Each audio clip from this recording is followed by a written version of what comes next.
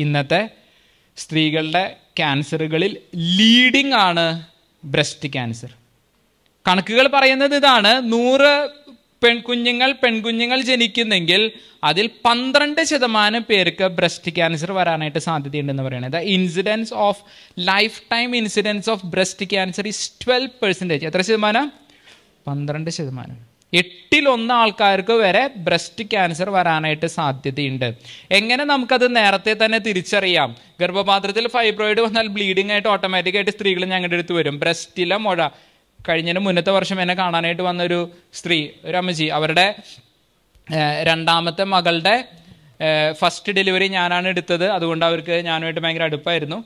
രണ്ടാമത്തെ പ്രഗ്നൻസി അതായത് ഈ രണ്ടാമത്തെ മകളുടെ തന്നെ രണ്ടാമത്തെ പ്രഗ്നൻസിയുടെ ടൈമിൽ അപ്പോൾ അതിന്റെ ഇടയിൽ മൂത്ത മകളുടെ ഡെലിവറിക്ക് വേണ്ടി അവർ ഗൾഫിൽ പോയി.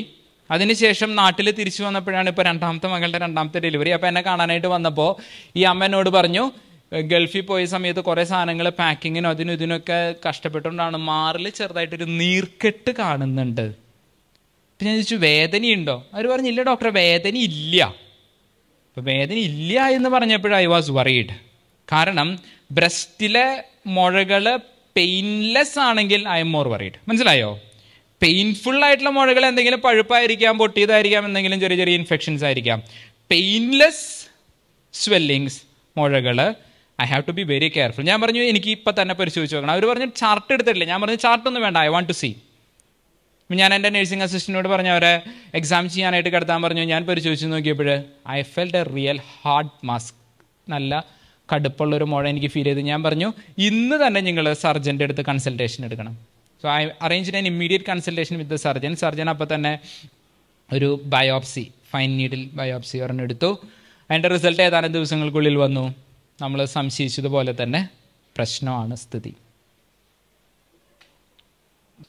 സ്റ്റേജ് ടു കടന്ന് സ്റ്റേജ് ത്രീയിൽ എത്തി നിൽക്കുന്ന ഒരു സിറ്റുവേഷൻ ഞാനൊന്ന് ചിന്തിച്ചു നോക്കി. അത്യാവശ്യം വിദ്യാഭ്യാസം ഉണ്ട് രണ്ട് മക്കൾ അതിൽ ഒരാൾ നേഴ്സാണ് ഒരാൾ ടീച്ചറാണ്. നല്ല വിദ്യാഭ്യാസമുള്ള ഒരു ഫാമിലി ഇവരാണെങ്കിൽ വളരെ ആക്റ്റീവായിട്ട് ഓടി നടന്ന് എല്ലാ കാര്യങ്ങളും ചെയ്യുന്ന ഒരു സ്ത്രീ. അവരുടെ മാറിൽ വന്ന മുഴ എന്തുകൊണ്ട് അവർ മിസ് ചെയ്ത് പോയി? So I would like to advise you ഈ ഗ്രൂപ്പിലുള്ള എല്ലാവരോടും എനിക്ക് പറയാനായിട്ട് ആഗ്രഹമുള്ള ഒരു കാര്യം ഇതാണ്. Breast cancer is a reality അത് മറ്റുള്ളവർക്ക് വരും എനിക്ക് വരില്ല എന്ന് നിങ്ങൾ ചിന്തിക്കരുത്. നാൽപ്പത് വയസ്സിന് മുകളിൽ ഓരോ സ്ത്രീയും every month you just examine for ഞങ്ങൾ പറയുക ഫ്ലാറ്റ് കൈ പരത്തി വെച്ചിട്ട് നമ്മൾ ഇങ്ങനെ ഇങ്ങനെ പിടിച്ച് നോക്കരുത്.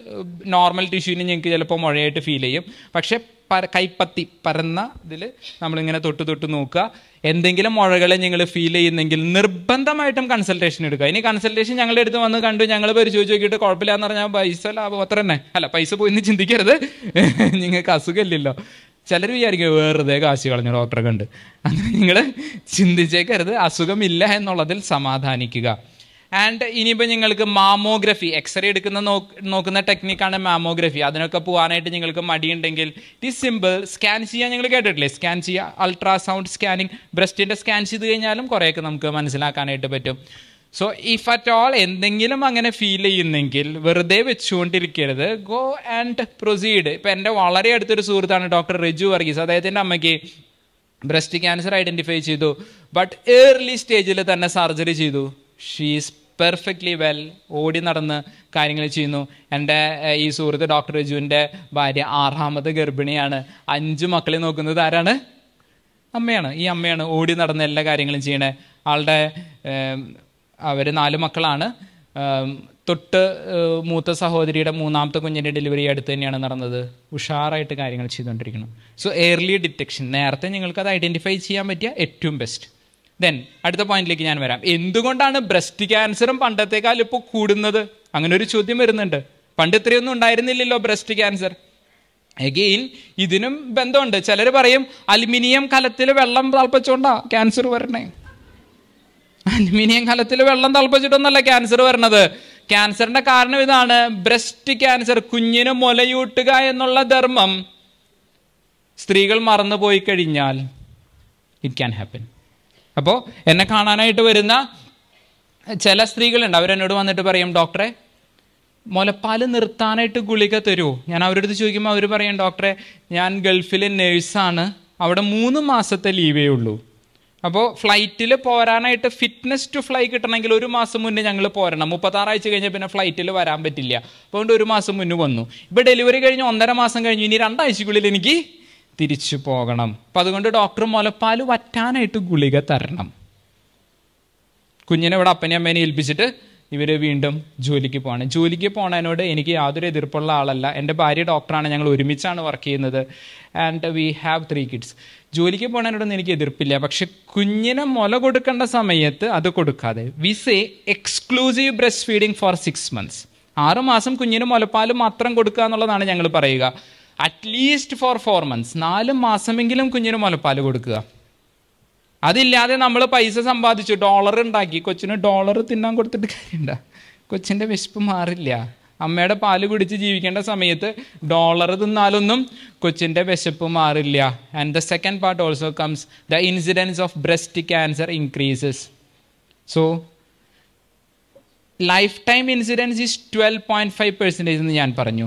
ഒരു കുഞ്ഞിനെ പ്രസവിച്ച് മുലയൂട്ടി വളർത്തുമ്പോൾ for each year of breastfeeding the incidence of breast cancer comes down by four point five percentage നാലര ശതമാനം വെച്ചിട്ട് ബ്രസ്റ്റ് ക്യാൻസറിന്റെ ഇൻസിഡൻസ് കുറയും. രണ്ട് വർഷം മുലയൂട്ടി കഴിഞ്ഞാൽ ഒമ്പത് ശതമാനം risk reduction and the third thing is the pregnancy period itself will protect ഒമ്പത് മാസം ഗർഭകാലഘട്ടം ഈ പെൺകുട്ടീനെ ബ്രസ്റ്റ് ക്യാൻസറിൽ നിന്ന് പ്രൊട്ടക്ട് ചെയ്യും. അപ്പോൾ ഇത്രയും സമയം കൊണ്ട് പത്ത് മുതൽ പതിമൂന്ന് ശതമാനം വരെ റിസ്ക് റിഡക്ഷൻ ഓരോ കുഞ്ഞിനെ പ്രസവിക്കുമ്പോഴും റിസ്ക് കുറഞ്ഞു കുറഞ്ഞു വരും. അഞ്ച് മക്കളെ പ്രസവിച്ചു കഴിഞ്ഞാൽ അഞ്ചിലൊന്നായിട്ട് കുറയും. റിസ്ക് അഞ്ചിലൊന്നായിട്ട് കുറയും. ദിസ് ഈസ് ദ റിയാലിറ്റി ഇതൊരു യാഥാർത്ഥ്യമാണ്. പലരും ഇതൊന്നും പറഞ്ഞു തരാനായിട്ട് മനസ്സ് കാണിക്കാറില്ല എന്ന് മാത്രം.